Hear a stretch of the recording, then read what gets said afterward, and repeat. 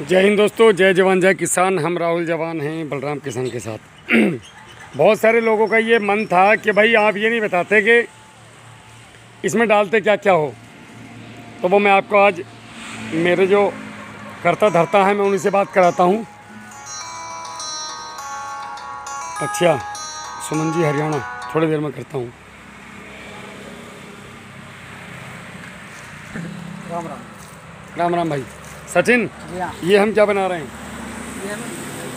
ये ये जो लड़का है ये मेरा पूरा कार्यधारी है और ये मेरा छोटा भाई है प्रशांत। ये मेरा छोटा भाई है प्रशांत। अभी ये ये क्या है सचिन?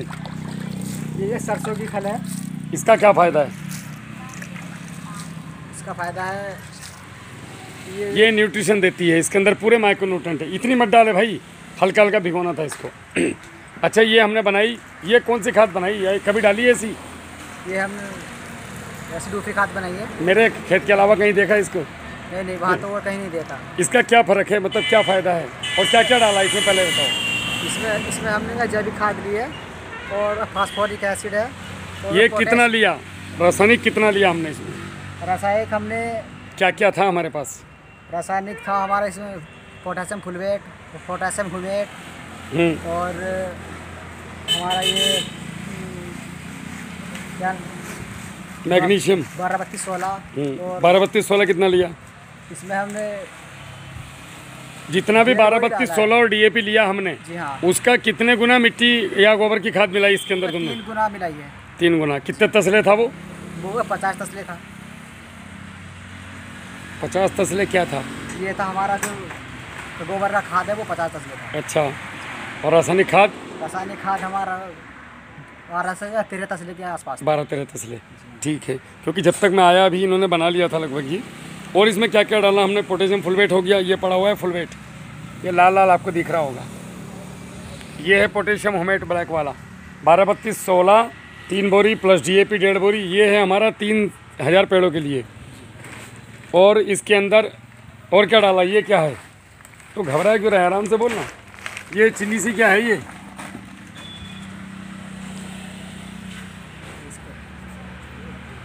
नाम भूल गया। Magnesium sulphate. सल्फेट हाँ ये कितना डाला? ये ये हमने इसमें डाला है दस किलो। दस किलो। बाकी इसमें रखा है। अभी और क्या क्या डालेंगे हम इसमें? अभी हम इसमें बस थोड़ा सा पानी का पानी का छिड़काव करेंगे। और? और पानी का छिड़काव कैसे करेगा? भूल गया। Phosphoric acid. वो रखा। ब्लैक वाला। दो लीटर फास्फोरिक एसिड एक एकड़ के लिए लेंगे तो हमारे पास जैसे ये दो एकड़ से ज़्यादा है तो हम चार लीटर फास्फोरिक एसिड लेंगे, पानी में मिलाएँगे, उसको इसके ऊपर छिड़क देंगे। ठीक है? इसको मॉइस्चर देंगे, इसमें जितना रासायनिक खाद लेंगे, उसका तीन गुना सड़े हुए गोबर की खाद। एक एकड़ में दस से बारह, पंद्रह किलो सरसों की खली ये लेंगे। Potassium humate potassium fulvate magnesium sulphate इसके अंदर यूरिया नहीं मिलाएँगे। क्यों? अगर मिलाया तो ये पानी बन जाएगा। ठीक है? और इसके अंदर कैल्शियम नाइट्रेट भी नहीं मिलाएँगे। क्यों? वो भी पानी छोड़ती है और वो डीएपी के साथ रिएक्शन करती है। इसके अंदर जिंक भी नहीं मिलाएँगे। क्यों? वो भी ऐसे करता है। इनको क्या करेंगे? इनको हम अलग से मिट्टी या सड़े गोबर की खाद में सेम ऐसी ढेरी बना के साइड में लगा देंगे। तो इसमें क्या क्या हुआ? बारह बत्तीस सोलह ये जो भी आपको डालना है वो डीएपी अभी जो डाला है हमने मैग्नीशियम सल्फेट उसके साथ में हमने लिया है पोटेशियम होमेट पोटेशियम फुलवेट और क्या डाला? कुछ था पीला पीला गंद जैसा? सल्फ़र आई थी देखे गया था वो? यहाँ सल्फ़र डाला है। तो बता घबरा क्यों रहे? हाँ सल्फ़र डाला है हाँ, पाँच किलो सल्फ़र डाला है। पाँच डब्बे थे? हाँ ठीक है। और अब हम इसको, इसके ऊपर, ये डालो, अब सरसों की खली डालो ऊपर।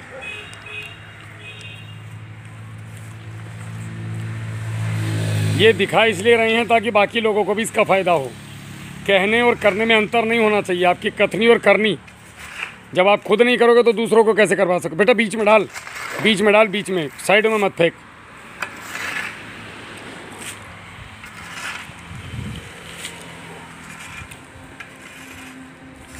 डाल फटाफट।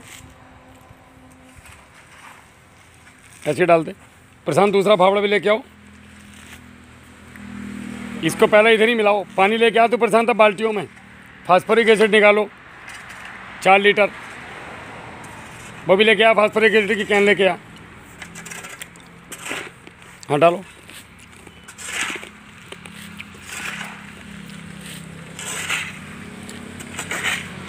सरसों की खल भी महँगी कर दी इन लोगों ने। अब किसान से ले रहे हैं सस्ता। भैया, मज़े व्यापारियों के हैं। चलो, कम से कम उपलब्ध तो हो रही है।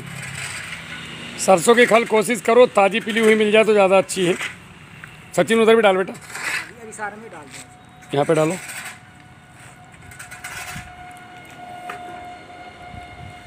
उसको भी ले लो पूरा, ये जो बचा हुआ है ना। एक का कण इसका काम आना चाहिए।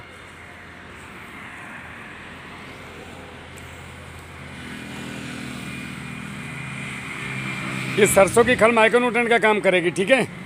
और इसके अंदर नाइट्रोजन, फास्फोरस, पोटास और विघटन की क्षमता बहुत ज़बरदस्त है इसकी। इस खाद को डिकम्पोज करने में बहुत जल्दी ये रोल अदा करेगी। प्रशांत, इसको वो करो। फावड़े। फावड़े से जो सरसों पड़ी है, भैया, खली, इसको उठाओ। सकोरो इसको। फावड़ा तिरछा लेते हैं कभी भी इसमें हाँ ये। खड़ा फावड़ा चला। ये। ले आगे से भी है, ये पड़ी हुई है। सब ले ले, मिट्टी कौन सी दिक्कत आ रही है इसमें? इसको पूरा खींच लो। बस बस। अब वो उधर पैरों तक पड़ी है तुम्हारे। ये है फास्फरिक एसिड। ब्रांड हम नहीं दिखा सकते, हमारी मजबूरी है। ये ज्वलनशील नहीं होता है। इसी से डीएपी बनता है। आराम से मेरा कुर्ता। इससे लेकिन आपका कपड़ा कट जाएगा। स्किन को नुकसान कुछ नहीं है। अगर आपने इस पर आराम से उठा, डर मत। मैंने तो यूज़ करा है पहले। ये देखो, इसका कोई रिएक्शन नहीं है। चार लीटर लेना है बस। हो गया होगा। बस। दूसरे ख़त्म करेगा। बहुत कम ना है वो बंद कर इसको। कर लगा इसको रख के आ जा प्रशांत मग्गा है। ये मैग्नीशियम डाल रहे हैं। पहले क्या करना है नीचे एक बार सचिन नीचे खाद फिर रासायनिक खाद फिर खाद। अब ऐसी क्या? हाँ अब इसको फास्फोरिक एसिड ले आ भाई इधर। डाल दे इसको डाल दे मिला देना बाद में ऐसे। अबे डाल दे। ऐसे छिड़क दे। रुक जा भाई। तू फास्फोरिक क्या वो बेवकूफ़ है क्या तू? कपड़े जला देगा और तो कुछ नहीं करेगा वो। अब इसको फेंक। इसके ऊपर ऐसे डाल दे आराम से। आराम आराम से। हाँ डाल। छिड़क दे चारों तरफ़। इसको हाथ लगा। थोड़ा लोगों का बहम निकल जाएगा। कपड़े में मत लगाना, सिर्फ़ हाथ पे लगाओ ऐसे। मेरे हाथ पे डाल। आराम से। अरे डाल। दिखा, ये देखो। ये फास्फोरिक एसिड का कुछ नहीं है। लेकिन ये खट्टा बहुत होता है दादा। इसकी चूरन बनती थी पहले जब हम छोटे छोटे थे बचपन में। वही बेचते होंगे गाँव में ओरिजिनल तो बेचेंगे नहीं। आराम से। बस ये कपड़े पे नहीं पड़ना चाहिए। अगर ये कपड़े पे छीट पड़ी तो कपड़े को धीरे धीरे गला देगा। शरीर पे कोई नुकसान नहीं है, देखो। तो ये मन से, दिमाग से बहम निकाल देना आपका।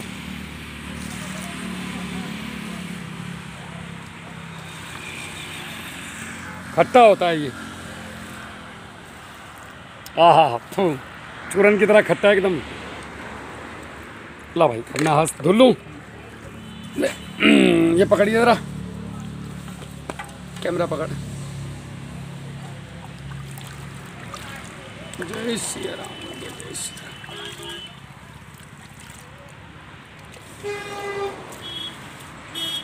एक सेकंड।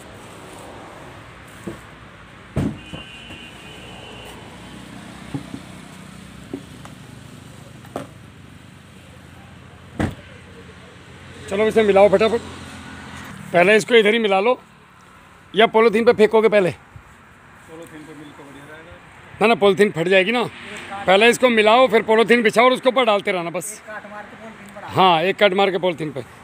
दोनों काट मारो मिल के बढ़िया करके मिलाओ। एक काट इधर से ले जाओ एक काट इधर से ले जाओ। हाँ। पूरी नीचे तक प्रशांत। जैसे ये सचिन कर रहा है जैसे।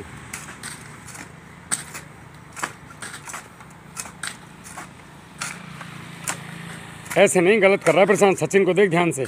उधर से इधर तक पूरी लेके आ। हाँ पलटना है उसको, मिलाना होता है।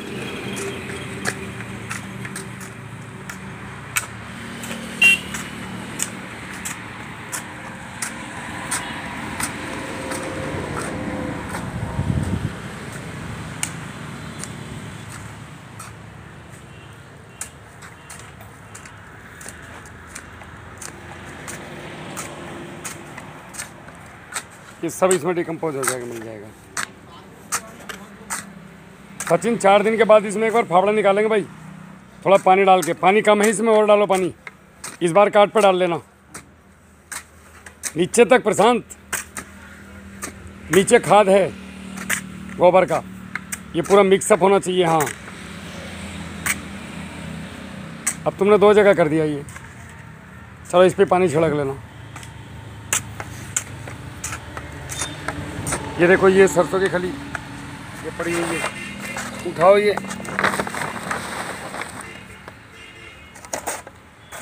चलो, शाबाश।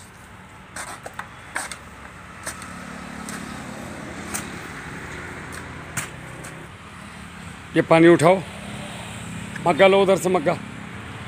छिड़को इसके ऊपर फिर दोबारा। मॉइस्चर इसके अंदर होना चाहिए। डालना घबरा मत सब मिल जाएगा ये। नमी देनी है, नमी समझता है ना? नमी के बिना टूटेगा नहीं बॉन्डिंग और इतना भी नहीं देना कि जल चू चू जाए। डाल डाल अभी घबरा मत पी जाएगा सौ लीटर पानी कम से कम। इसीलिए डिकम्पोजर अगर है ना आदमी के पास वेस्ट डिकम्पोजर तो वो बेस्ट है या जीवामृत हो।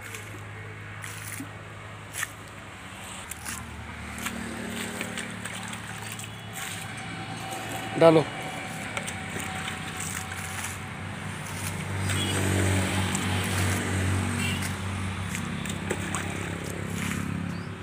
बस बस बस बस बस।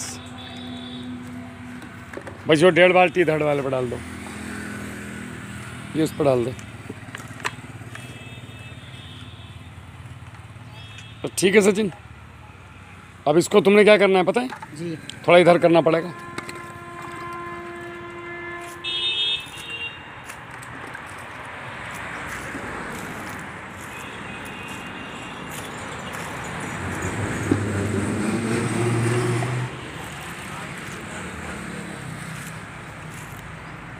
चलो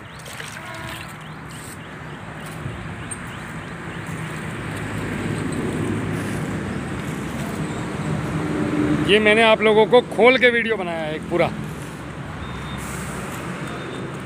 फुल तरीके से।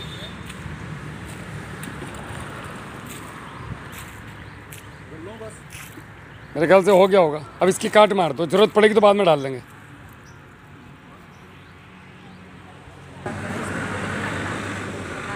ज़्यादा मॉइस्चर तो नहीं है। ठीक है ना?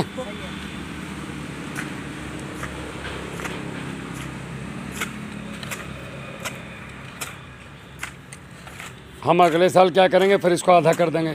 उससे अगले साल फिर आधा। लगभग दो ढाई तीन साल में बिना कुछ नुकसान किए अपना खाद हमारा हो गया ज़ीरो, फ़सल हो गई टॉप।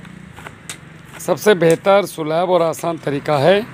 तरीके और भी हैं, लेकिन थोड़े कठिन हैं और इंसान को चाहिए आज की तारीख में सही सही और सरल। तो हर सरल चीज़ सही नहीं होती और सही चीज़ सरल नहीं होती है।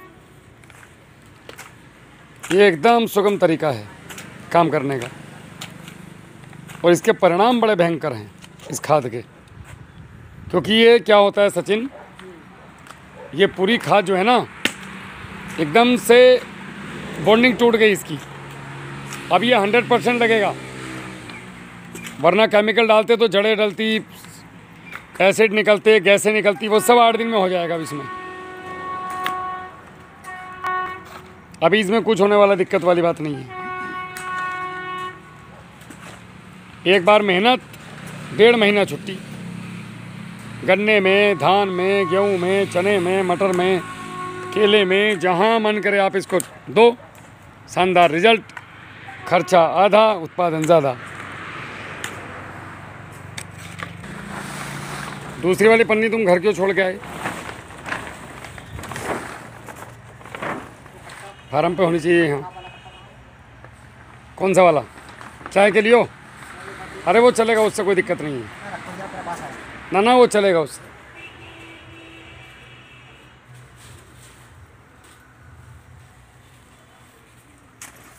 कि आप बंच कवर इस तरीके से स्टोर करके रख सकते हैं अगले साल के लिए। अभी ये ठीक ठाक होंगे पूरे।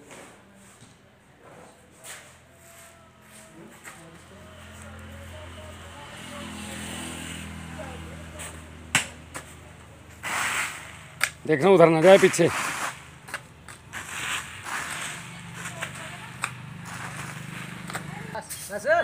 हो गया। अब इसको वापस इसी पर डालो। ये डेढ़ फीट की ऊंचाई रखनी इससे ज़्यादा नहीं।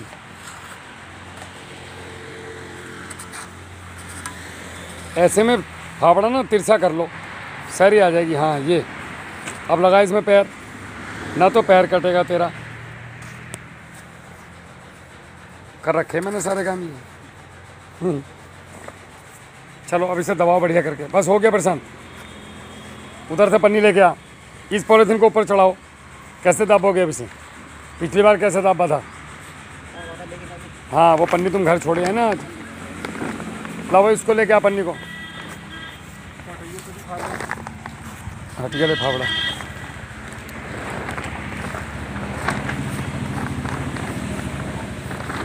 नहीं होगा नहीं होगा। रुको। इसको रहने दो। अरे, अभी रहने दो उसको कल वो दूसरी वाली जो पॉलीथीन है, कट्टों से नहीं होगा काम। ना ना, कोई दिक्कत नहीं, इसको रहने दो रात भर। कोई खा थोड़ी जाएगा, कोई हलवा थोड़ी है। इसको छोड़ दो। प्रशांत। सुनो, जो मैं बोल रहा हूँ, जाने से मतलब नहीं होता। अभी सचिन इसमें कल क्या करेंगे हम? जो दूसरी पॉलीथीन है यही वाली अंदर घुसा के इधर और उधर घुसा के इसको पैक कर देना। पन्नी घेर देगी और क्या? वो कोई और शादी में जाएगा फिर। हाँ तो सुबह थोड़ी जाएगा ये हो गया रेसोटो ब्रेक खाद चलो राम राम। राम राम।